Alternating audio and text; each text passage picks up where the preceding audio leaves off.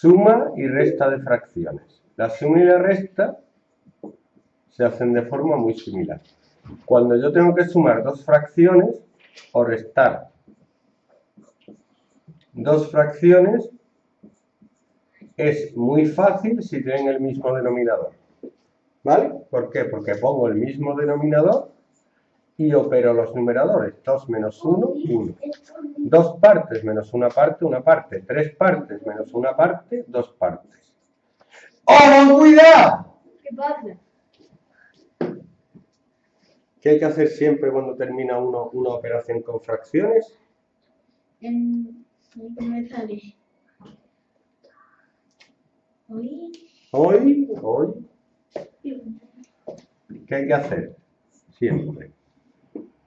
Dividir el resultado. Simplificar. Y dejar la fracción en forma de fracción irreducible, que no se pueda simplificar más. ¿Vale? Entonces, dos cuartos lo puedo simplificar entre cuánto. Entre... Uno... Un cuarto. No, cuarto no. ¿No te acuerdas otra vez de simplificar? Lo repasamos el otro día y te lo machaqué. Pom, pom, pom. ¿Por qué se te olvida? ¿Mm? Porque no, no lo ejecutas en casa. No haces ejercicios se te olvida. En dos días, claro. ¿Cómo se simplifica esto? Se divide ¿Entre cuánto? entre uno y... Entre uno, no. Ah, no, perdón. Entre Dos y uno. cuatro. Sí, ¿entre cuánto se divide?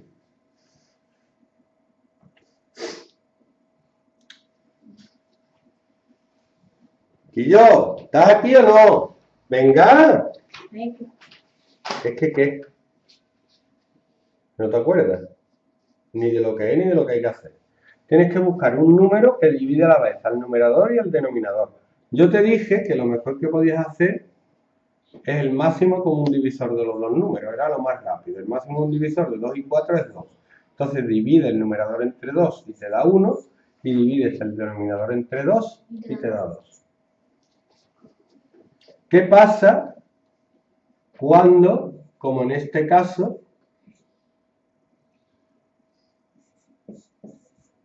los denominadores no son iguales? ¿Qué hay que hacer?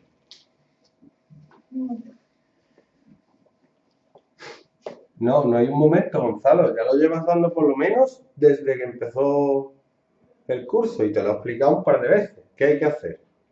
Tiene que ser así. Rápido. Pon, pon. Estaba copiando. No, no, no. No me pongas excusas. No, no me pongas excusas. No, eso son malas excusas. Son excusas de mal pagador. Eso no son excusas. ¿Qué hay que hacer cuando no tienen el mismo denominador? Eh, Cada segundo que te voy a sacar doble de ejercicio. ¿Qué hay que hacer? Ni idea. Vale, Gonzalo, no tienes ni idea. Reducir fracciones a común denominador. Es mejor que te des cuenta antes de que no sabes a darte cuenta después del examen. Entonces te estoy diciendo que no tienes idea. Que no sabes, porque no lo tienes fresco ni te lo has estudiado. Te lo tienes que estudiar. Y no me digas que es que todavía no tienes el examen, ¿vale? Eso no es excusa, te lo tienes que saber antes del examen, no después, obviamente. Y el día que lo has dado es el día que te lo tienes que aprender. ¿Por qué lo olvidas? Porque no es importante para ti. Esto es importante. Reducir fracciones a común denominador. Si dos fracciones tienen distinto denominador, para reducirlas a común denominador, lo primero que se hace es el mínimo común múltiplo de los denominadores. El mínimo común múltiplo de 4 y 2 es 4. ¿Vale? Y luego se escriben las fracciones con el 4 en el denominador. Y para saber cuál es el numerador, se puede hacer de muchas maneras. 3 cuartos con un 4 aquí, nada más que tenéis que poner un 3. Pero un medio,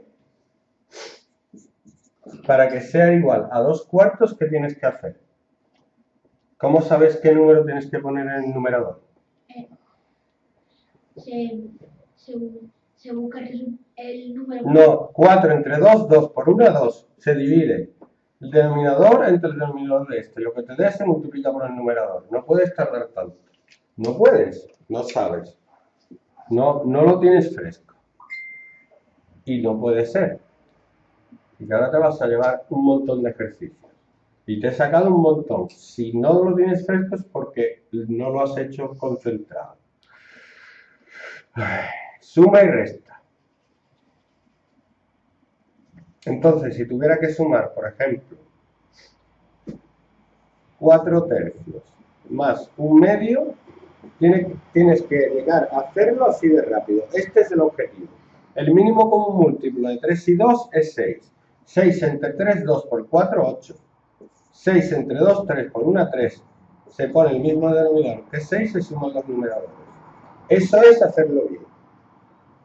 ¿Vale? Si tú no lo haces así, este es el objetivo. Tienes que hacerlo más rápido. 5 cuartos menos 2 tercios. ¿Cuál es el mínimo común múltiplo de 4 y 3? 3, 2, 12. 12 entre 4, 3 por 5, 15. 12 entre 3, 4 por 2, 8. Esto es un juego y el juego es, ¿lo puedo mejorar? ¿Qué puedo hacer para mejorar? Practicar, practicar, practicar. Que a lo mejor no se puede llegar a la perfección. No me importa.